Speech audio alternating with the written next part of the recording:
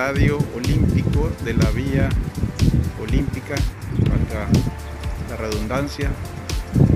Este estadio fue construido para los Juegos Centroamericanos en el año de 1990.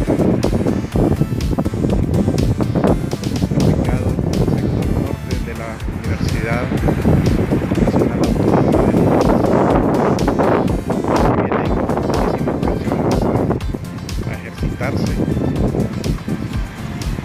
se han llevado a cabo también eventos especiales, pero más que todo de atletismo.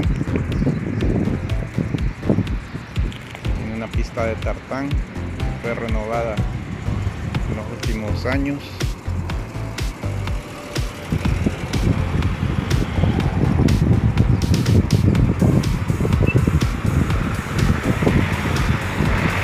En la cancha de fútbol también en ocasiones es usada para partidos